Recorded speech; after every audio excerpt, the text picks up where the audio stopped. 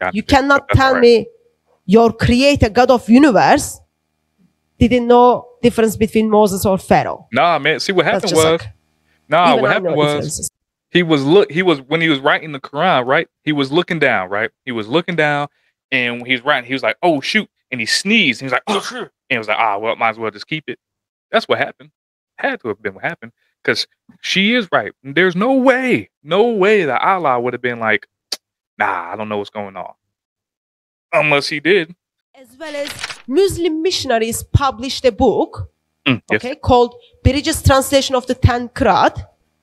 That's like Arabic in one side, English is next to it. Footnotes tells you how many different Qur'an, how, that word cha- um, changed the meaning in how many different Qurans. Mm. So you don't need to like go and buy those book, uh, Arabic books. You can simply get those PDF version of that Muslim missionaries book. He's making a case. We are very much aware of it. It's only like changes in few places. He puts only 30% of those changes and then says it's altogether like his, I think his number was like over 1000, One thousand. but that's only 30. And he's trying to downplay it, y'all. And he's trying to downplay it. That Muslim missionary, he's saying that there's only about a thousand. And she's saying that there's he's only using 30%. So 30% equals a thousand. I can't wait to see what all the other ones equal. So again, more than a dot and tittle. And so if you guys don't know, this is another response. Crazy Muslims in my comment section talking reckless, talking crazy, still believing that for some odd reason their book hasn't been rewritten and has variants and hasn't been quote unquote corrupted, since that's what they like to call variants. Out Hatun, by the way. percent of it. So when you put to, and that's in within 30 Qurans. When you 30? look at different Arabic Qurans, uh, you can easily come up with 93,000 variations from Quran A to Quran B. Okay? That's a lot of variations for not even a dot changed claim. She right. That's a lot. What's going on, folks? I'll give you a couple of examples. Anyone, you. um, if anyone wants those lists, I can give you the list of the um, important variations. Can um, in English, is there a difference between creature uh, or innocent? Whoa, hold on. Okay, Surah 98 verse. Hold on. They talking about creature and innocent, but they talking about us and our scriptures, and they got a difference in the Quran of creature and innocent. Yo, that's crazy. Let's get back into it. creature uh, or innocent. Hmm. Okay, Surah 98 verse 6. Is there a difference between fight and kill? Mm, yep, yep. What is the mhm. difference between that? Uh, they fight in the UFC all the time. They don't kill. It's like b- difference between dead and alive. I- Is is there a difference between Pharaoh and Moses? Yes. Pharaoh. Is there a Moses, difference between people. I and you? Yep.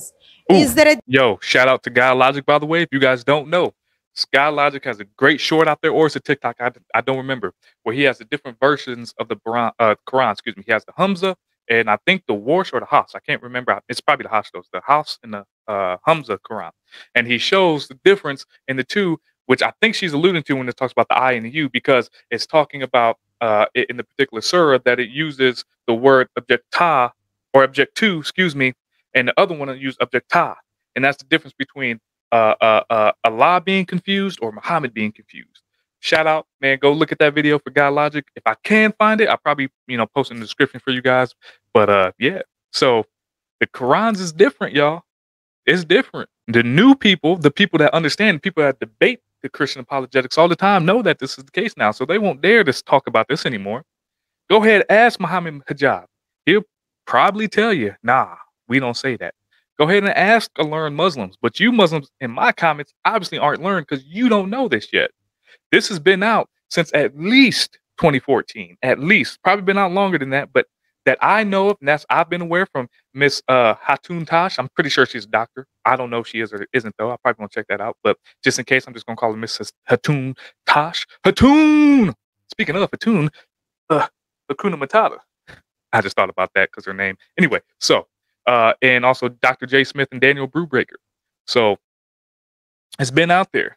You unlearned people though in the comments talking crazy, sounding real dumb. And then when you get pressed, you don't know what to say. difference? Surely there is a reward versus is there a reward? Yes. one is question, other one is statement. Will not make it no, will will not make it known to you versus will make it known to you. Mm, yep, it's a little bit different. You will or you won't. One of the two. Okay, move the mountains, not move the mountains. Now you got to move them Those are just few examples. Okay, and tho- those are not big examples. because they ain't gonna move on their own. Cert- there are certain examples affects the life of Muslims, how they do their prayer. For example, before they go to prayer, they need to wash their feet, Mhm. or do they need to wipe their feet? It's depend on the Quran you are reading. Depending on how clean you are, that's some When time in between. touch a woman in a sexual sense, you need to wash all of your body, ghusl. Okay, you Mhm. need to have like full shower. Get your stinking butt in that shower. Um, if you handshake with a woman, you just need to wash your hands, feet, all that. Like you need to do wudu. You don't need to have a shower. If you are following one Quran, it tells you. Wait, see, one thing I won't do is I won't pretend like I know all about the culture. I will never do that. I will though read the book and see what I see in the book and then talk about what I see in the book. I will do that. But when it comes to the culture and what all the things that they have to do, uh uh I didn't know about that. For you to give a woman a handshake, you gotta wash your hands and feet. What the feet gotta do with it? That's weird. Let me know if you are a Muslim, you made it this point. I appreciate you. Lord willing to come to the truth. But if you don't and you just want to, you know, come at me crazy in the comments, that's cool too. But just let me know why. Why do they do that? when you sexually touch the woman. Other Quran tells you when you do handshake with a woman. So what do you need to do? Because practice of Islam is different, depend which Quran you read. Mm. When you cannot fast, you need to feed people. Okay? Is it feeding one person or feeding more than three people, two, two, uh, two or more? So depend, it affects your daily life. Okay? So therefore, like, kill or fight is not that big deal. But certain things are big deal because it affects their worship. And sadly, Allah gets cross with people when they fail to do their prayer exactly the way they need to do it. Ooh, So therefore, it is important. heavy. But for us overall, it is important because imams, sheikhs, Mm. Mothers of Muslims, fathers of Muslims, Mhm. they lie to their kids, they lie. or the sheikhs and imams lie to those Muslims and They then tell to that there is only one Quran perfectly preserved dot by dot, Big letter lie. by letter, sound by sound, word by word. They've been lied by people whom they learn to Yo, shout out to Hatun Tash, man. Shout out. Let's go ahead on and clap it up for her. Clap it up her. She's in the field. She's in the trenches. Yo, she got assaulted and she came out like, yo, I'm still going to talk. I'm still going to spread the truth. It don't matter. She's a rider. She's a rider. Hatun Tash. If you don't know, if you don't know, let me be the first to introduce you. Fantastic. Bringing the truth, letting people know. Stop telling these kids that there's no uh, uh, variance because there is. And y'all need to start telling y'all kids that so that they don't get older and then come in my comments again some years down the line, be like, yeah, it's it's always one Quran. Nah, I'm not gonna stop it for a while after this. I'm gonna let it ride out. I'm gonna let Hatun Tash ride out. I've been talking crazy in the beginning. I'm just gonna let it ride out. look up to, whom like biologically programmed to shepherd them. Most of those Muslims, of course, don't know those kind of lies. hmm and we concern we concern for that why because every every action has reaction Yes, it does. Consequences people have consequences and consequences when it comes to the perfect preservation of the quran is if you are reciting the wrong quran you are not going to get that pale man to intercede for you What? and that's serious That pale man. but overall, I think it's helpful to remember uh, no one needs a pale man to intercede for them. No one It's needs a book to tell them what they need to do. There is a brokenness in this broken world. We've got problem in our hearts, hmm and on that problem is like circulating around like a cancer. Teach on it. Solution to that is the Savior. We don't need any other book. We don't need dot by dot preserved I know I said I was gonna let it ride out, but she said we need a savior. So shout out to Jesus Christ, our Savior. Big shout out. something. We need perfect savior, and that's Lord Jesus Christ. So, using those kind of points, and especially like Sheikh Yasser um, Sheikh um, Qadhi's point on um, statements on there are holes in the narrative should draw our attention to Lord Jesus Christ. And that help should help us to draw people's attention to Lord Jesus Christ. Because we want people to point themselves, look up to one who has holes in his hand and holes in his feet. Because that's the perfect, sufficient savior and perfect intercessor for Muslims. Yo, she's spitting. Okay. She's spitting.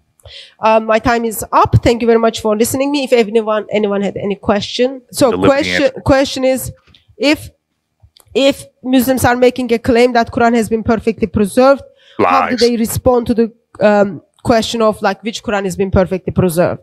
Mm. Allah knows best. A little bit. Um, Allah, who doesn't even know who are the believers, knows best. But in this occasion, uh, Yes. because majority of Muslim world knows about Hafs Quran, they will say Quran in my house, Quran in my hand, or they will point you to app which says like this Quran. Until they even see the differences, they are gonna deny which one is being preserved. they gonna For deny there is only one Quran. Oh, it's just a recitation. It's just the dots. They claim is like just changing as the time goes on. Um, and when you put those differences, the question you are asking is, what did Allah reveal? How does Allah want you to practice your wudu, your prayer? How? Allah cannot say, fight and kill in one breath. Because they Hmm. are opposed to one another. Allah cannot say positive and negative thing in one breath for the same sentence. Nah, Allah got You cannot tell right. me your creator, God of universe, didn't know difference between Moses or Pharaoh. Nah, man. See what happened was. like, nah, what happened was. He was look. He was when he was writing the Quran, right? He was looking down, right? He was looking down, and he was writing, he was like, "Oh shoot!" And he sneezed. He was like, "Oh shoot!" And he was like, "Ah, well, might as well just keep it." That's what happened. Had to have been what happened because she is right. There's no way, no way that Allah would have been like, "Nah, I don't know what's going on," unless he did. Oh, so that was Hatun Tash, man, the great Hatun Tash. Shout out to her, man. Again, a soldier for Christ. Thank God for her. Yo, if you're a Muslim and you made it up to this point, let me know. Since the Quran is the perfectly preserved word, and much like she was saying that there's so many different variants, let me know something. Are all the variants wrong when it comes to uh, uh, Imran being the uh, father of Mary and Aaron being the sister of Mary? Do all of them say that? Let me know. And also, if they do, why are they wrong? Because historically speaking, and understand when it comes from where they derive that from, they derive from the Bible, obviously. Amram is Aaron's dad, Aaron and Moses' dad, not Mary that had Jesus. Mary from Moses' sister. That's who that is. They got them mixed up. But what y'all gonna say is, ah, oh no, Aaron is the descendant from. She's the he's the descendant of, or excuse me, Mary's the descendant of Aaron. But yet, how is she the descendant of Aaron? But Aaron's father is her father. It don't add up. But let me know if you made it this far. And if you're anybody outside of the Muslim belief or a Muslim anyway that made it up to this point, I appreciate you so very much. This has been your boy, the Scripture Plug Albert, and I want to do my best to provide videos that inform and let people know. Uh, bring music videos and a whole bunch of other type of videos, even funny videos where I just make fun of people that talk crazy or do crazy stuff, like pastors, like Benny Hinn and stuff like that. Love y'all. Catch y'all next time. I'm out.